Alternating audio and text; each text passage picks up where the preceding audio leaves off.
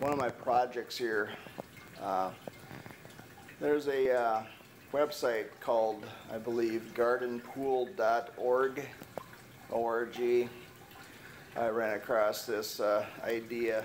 Uh, definitely something I didn't come up with. It's pretty much pretty easy to find these pieces from hydroponics and uh, obviously the five gallon pail is not. The pump inside, it's like a 264 gallon an hour pump and it's uh, got a little, uh, how do you say it, half inch uh, pipe on the top of that with a little 360 sprayer nozzle head for either gardens, shrubs, or lawn. And uh, as you can see, uh, well, I guess you can't really see, there's like some neoprene foam insert uh, big washers there. And you can kind of see it's running, can kind of hear maybe it's uh, running in there. And uh, what happens is the spray sprays on the tomato uh, suckers. These are suckers I've actually cut off a another tomato plant I have growing here in a Dutch bucket system. One seed, I'm kind of hoping to get about, oh, anytime this thing throws a sucker, I'm going to definitely cut it off and uh, and uh, try to get something here. Here actually is a sucker growing here, I believe. You can see that right there. Sorry for the wiggly camera. See, I've got some tomato blossoms coming up here. This is the indeterminate. In other words, it uh, will keep growing until it dies. Or I should say, and it'll keep growing until you kill it. Uh, these things will get very, very tall. This one's going in my greenhouse once uh, she gives up all the suckers she can give up. And then I'll kind of watch the other tomato plants as they grow and start taking suckers off of them. And you get, you know, it's just pretty much a free, another free tomato plant. But uh, anyway, uh, real simple. This is a, actually a Titan control. I think it's Apollo 6 kind of kidded with the salesman once they called it Apollo 13. Probably not a good idea, huh? Anyway, uh, I believe it's Apollo 6 or Apollo 8. I don't know uh, what it is, but it uh, has four timers per hour. This is a manual one. Uh, you can, it'll, I got it set so it's 30 minutes on, 30 minutes off, and that's what you want here.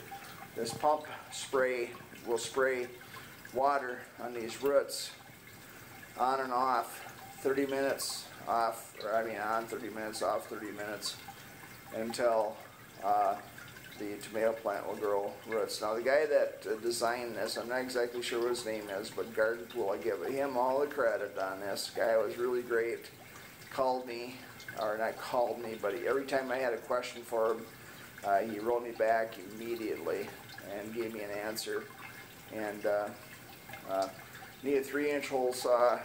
Uh, I made a little uh, tool to uh, kind of mark out the circle and then you just do the old uh, uh, the six use that same tool to mark the six locations for the outside and this thing will hold up to seven suckers or plants that you want to clone so very simple very easy no nutrients in the pail um, I guess you can uh, grow these plants to uh, finish if you wanted to. Uh, yeah, obviously, the thing would become full of roots, root bound, and everything like that. But uh, I plan on putting these either in the ground or I plan on, more than likely, these will go into Dutch buckets like this one here. This one here gets fed at 7, 1, and 7. 7 in the morning, 1 in the afternoon, 7 at night, and it runs for 30 minutes each. Here I got, again, I got to give total credit to uh, uh, MHP Gardener Bobby. Uh, he got me going on this. And uh, just an inside little quick one I use. My wife is really gracious about it. There again, we got another Titan Apollo such and such timer, but this one is you can do, I think, uh, I don't know, I think up to six on and offs, and it's digital. It's kind of cool. Uh, I guess I could have gotten by with the other one. Uh, much cheaper, the other one. Well, not really much cheaper, maybe about five bucks cheaper. Not a big thing. But uh, stuff I got out of Midwest Hydroponics, and look at this. I mean, this is just all regular hardware stuff. I mean, there's nothing, no rocket science here. Perlite for the median. I see it's starting to turn a little green.